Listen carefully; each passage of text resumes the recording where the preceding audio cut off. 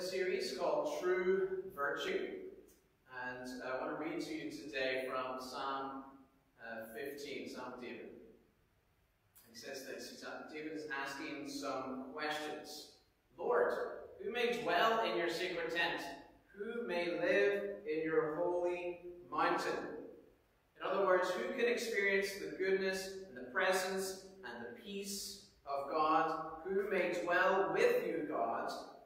And when he answers and it says, The one whose walk is blameless, who does what is righteous, who speaks the truth from their heart, whose tongue utters no slander, who does no wrong to a neighbor, and casts no slur on others.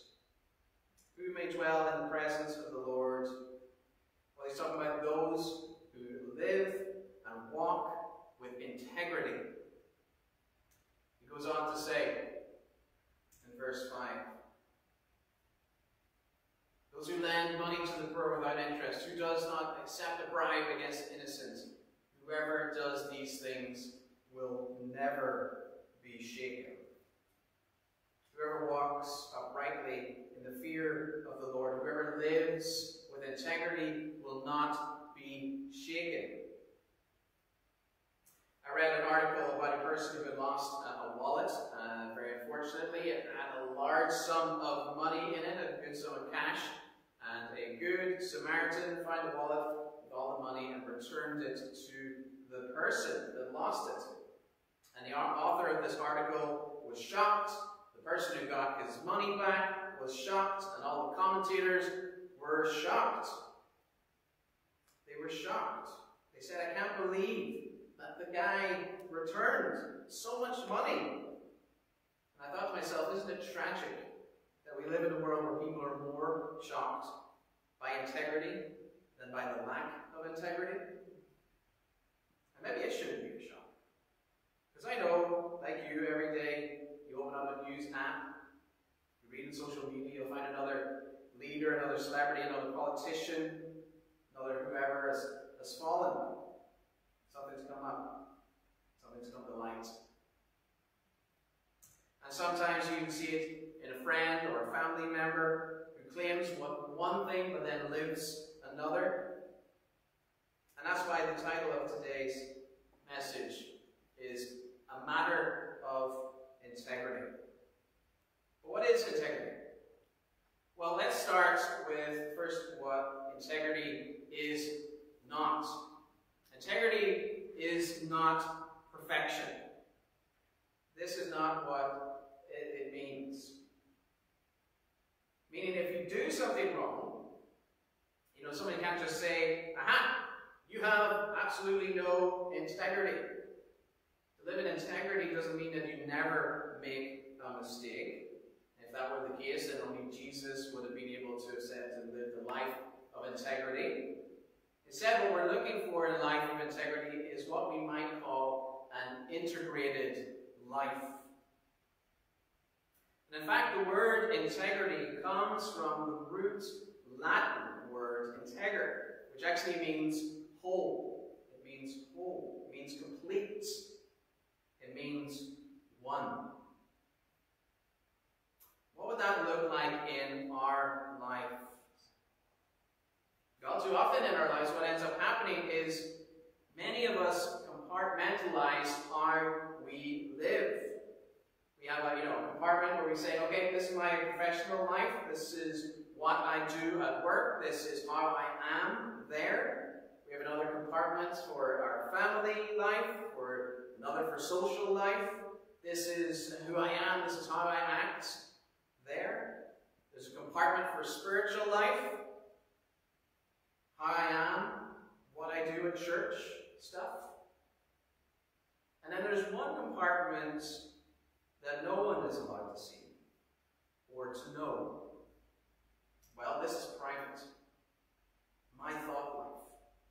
Who I am, how I act, in my heart, in my mind, in my innermost thoughts.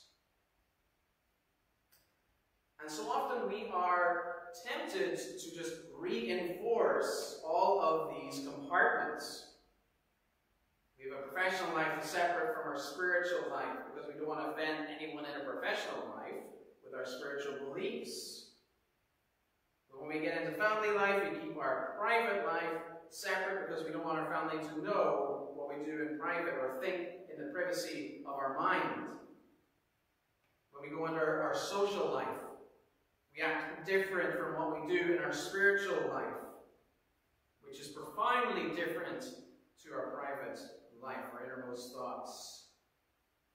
And then without realizing it, we actually live a very compartmentalized life where we live and we act and we think differently, radically differently in each compartment.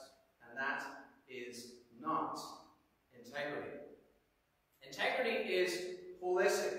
As followers of Jesus, we want to be Him to be Lord, to direct all of our lives, that we're not broken into those little compartments, where this is what I say in front of one group, this is what I do in front of another group, this is what I do over here this time.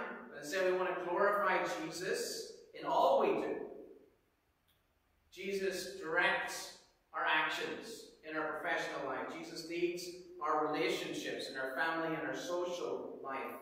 Jesus is the core, the center of our family. We're not just a Christian family, but we're a family centered around the teachings of Jesus Christ. Jesus drives and is Lord over private life, our innermost thoughts. His friends, it's not private from Him.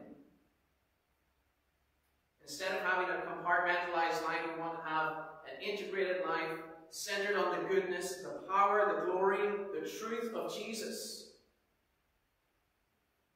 So, what is integrity? We might say it this way Integrity is when your behavior matches your beliefs in all spheres of life.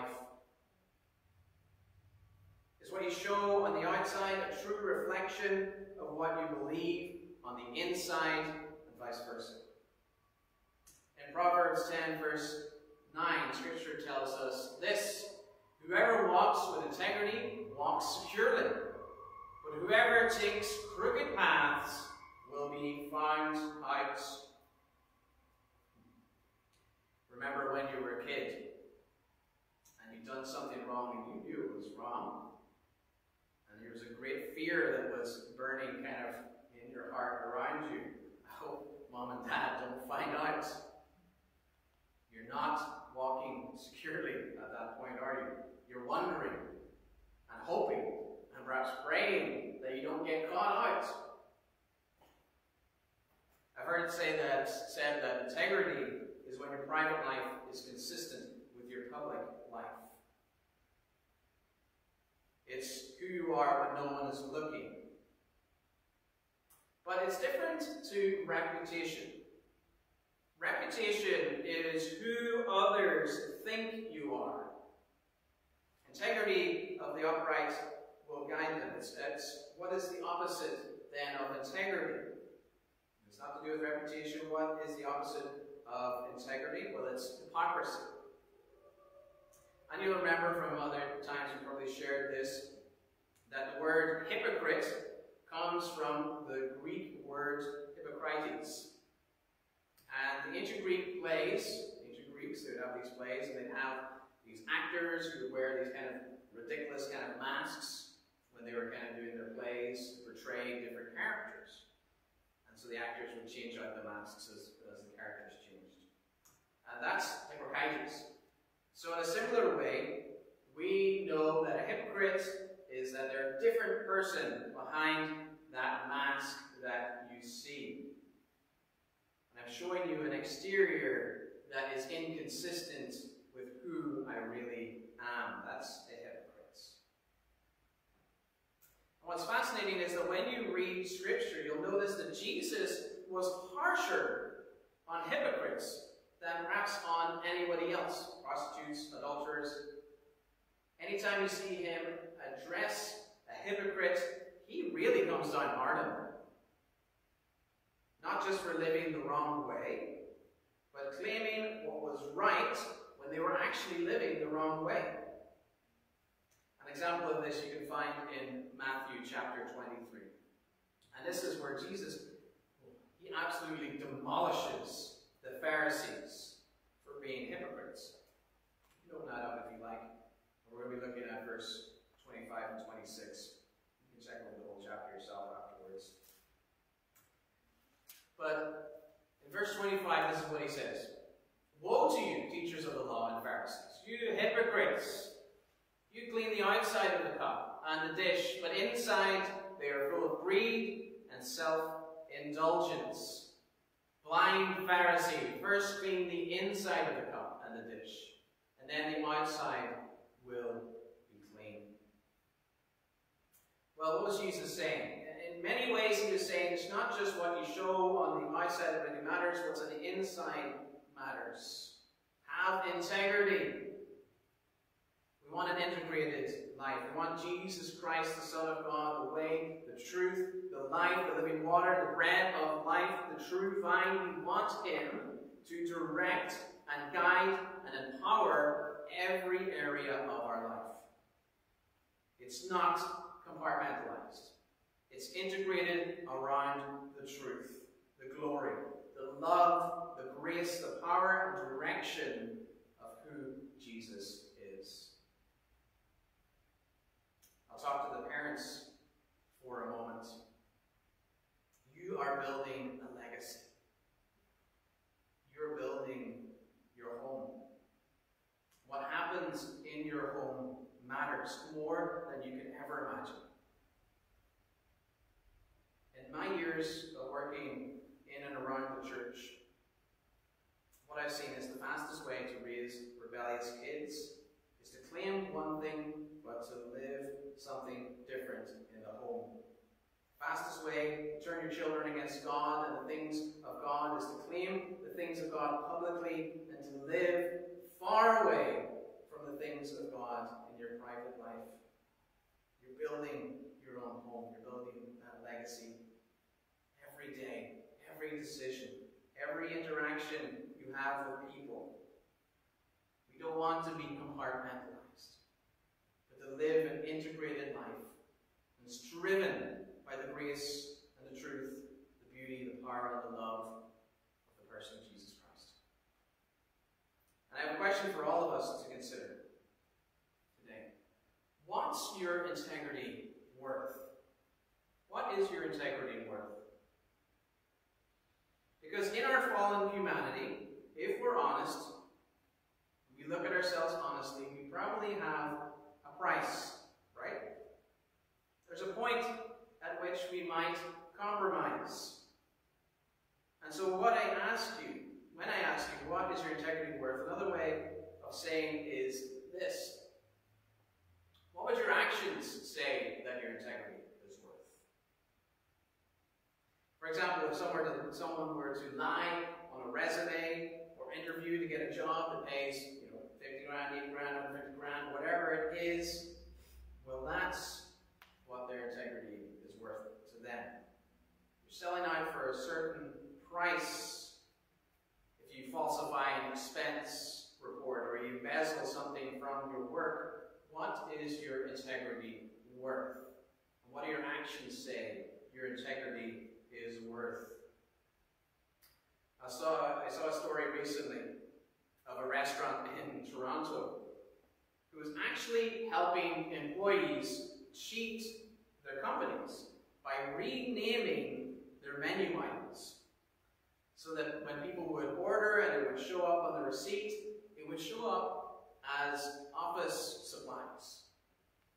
It seems kind of devious, doesn't it? Until your supervisor calls you in and says, John, I see you've ordered 10 whiteboards and 5 computer stands for your cubicle this month. Uh, what's up with that? Your integrity might be worth a ream of paper when you took home for private use. You cheat an exam to get better grades.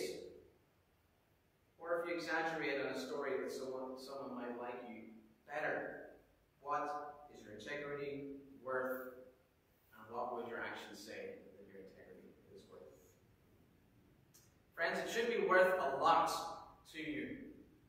Because if you have integrity, nothing else matters, and if you don't have integrity, nothing else really matters. Psalm 139, which I read for us, is where I want you to spend a moment with me. It's a very powerful prayer that David says here. It's incredibly difficult to pray. Very vulnerable prayer to pray. And this is one that I'm going to invite you to pray, perhaps today, perhaps this week. Verse 23 and 24. Search me, God. Know my heart. Test me. And know my anxious thoughts. See if there is any offensive way in me. And lead me in the way everlasting. Search me, God, and know my heart. Is there any part of my life that's compartmentalized, that isn't integrated around the truth and the goodness of Jesus? Search my heart. The reason this is a very difficult prayer is because Scripture teaches us, above all things, our heart is deceitful. It's very difficult to see the truth because our heart lies to us all the time. And I'm going to ask you, is there any area of your life that you're open to the prompting of the Holy Spirit that might need some correction out of a compartmentalized life into an integrated one? Well, there's three things that I would encourage you to just kind of examine to see if you might find an area. You might, first of all, look at where you are the most defensive. Where are you the most defensive? Consider this before the Lord. Where are you the most defensive? Because what I find for me is where, where I'm most defensive often reveals where I'm most vulnerable. Where are you most defensive? Next, number two. What don't you want others to know? Now, that wouldn't be me. I never do that or even think that. Ask yourself what you don't want others to know spoke earlier about keeping a private life away from others. What's in your heart? What's in your mind? Consider that before the Lord. What don't you want others to know? And thirdly, where do you criticize others? Ask yourself, what do you often criticize others about? Where do you criticize others? What I find is that where you criticize the hardest is often a reflection of where you are indeed the weakest. Search my heart, O God. See if there's any offensive way in me. So what do you do when God shows you that? What you do on the outside is very different than what you claim on the inside. Well, I encourage you to acknowledge any area. Search me, O God. Just pray and listen and be still before Him. And acknowledge any area where your actions are inconsistent with what God's Word teaches. Maybe you talk really bad about people to make yourself feel better. Maybe you gossip. Maybe you make it sound spiritual. Oh, I'm just telling you so you can pray for her. Oh, she needs more of Jesus Let me tell you what you did. Maybe it's your taxes, you cut corners and all the ways around it, you try to pay, try to avoid paying what you really owe. Maybe you claim the spiritual life, and right now you're struggling with a secret sin. I'd encourage you to acknowledge it before God. Search me, God. Know my heart. Test me to see if there's any offensive way in me. is there any part of my life that I've compartmentalized, not integrated with the love and the grace of Jesus? And then just confess it before God. And let Him cleanse you. Let Him forgive you as He does. 1 John 1 9. If we confess our sins,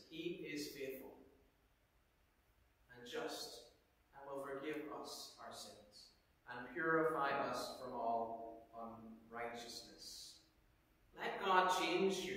Let Christ be master over your integrity. Let him take charge of it. Here's the truth. Talent can get you to the top, but only integrity will keep you at the top. Because when you have integrity, nothing else matters.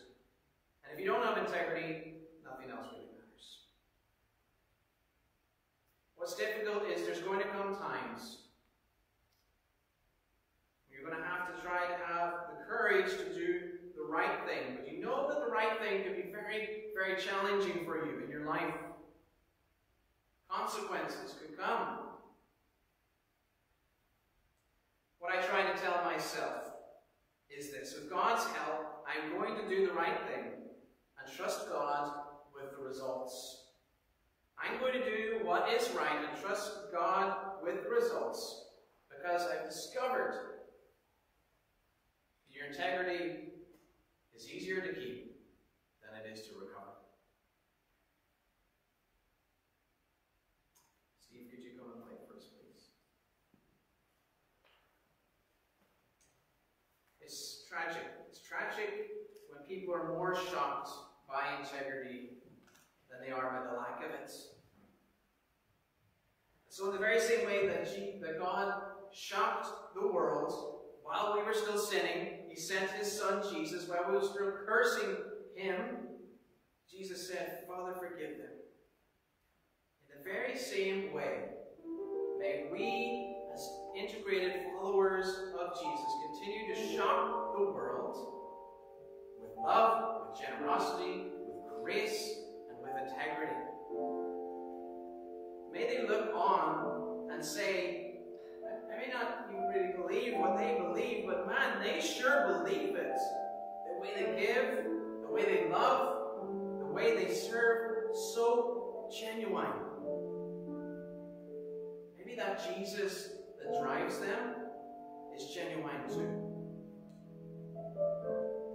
True virtue, integrity, matches your beliefs, no separate compartments whole. Hypocrisy, opposite of integrity. Behaving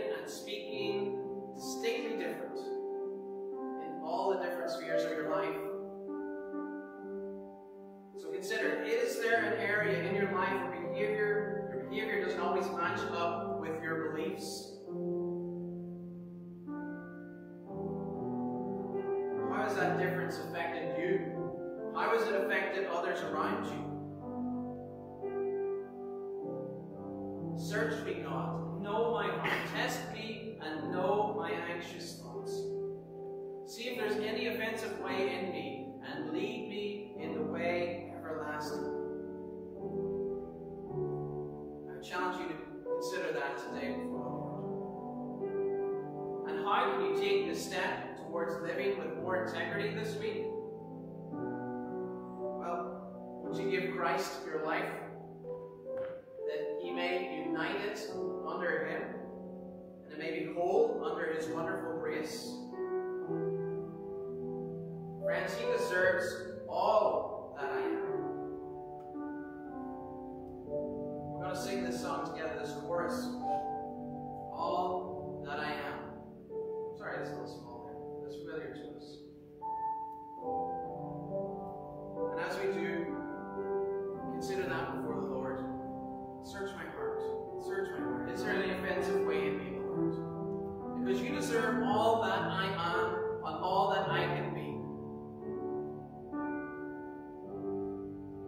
mercy seat. Someone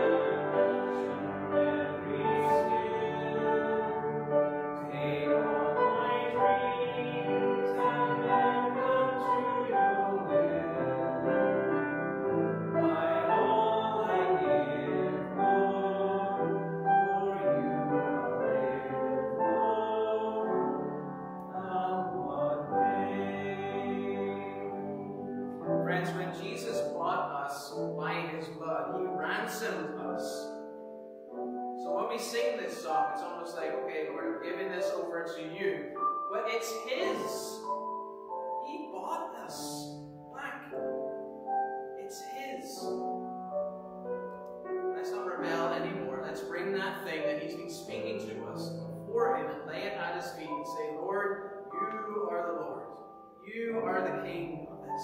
Even this thing. Even this. And I know you see it, Lord. Even though I try to hide it, I know you see it. Your blood paid for this too. And you want it. You want all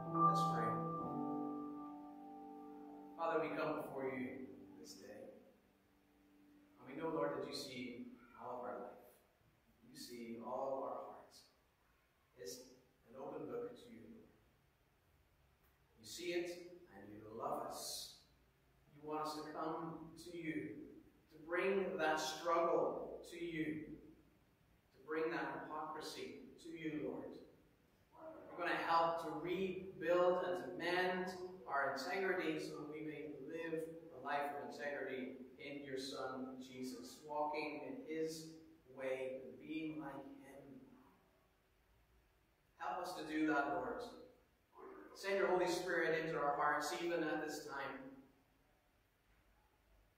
And as we've invited you, Lord, to search our hearts and to examine and reveal to us what is offensive to you.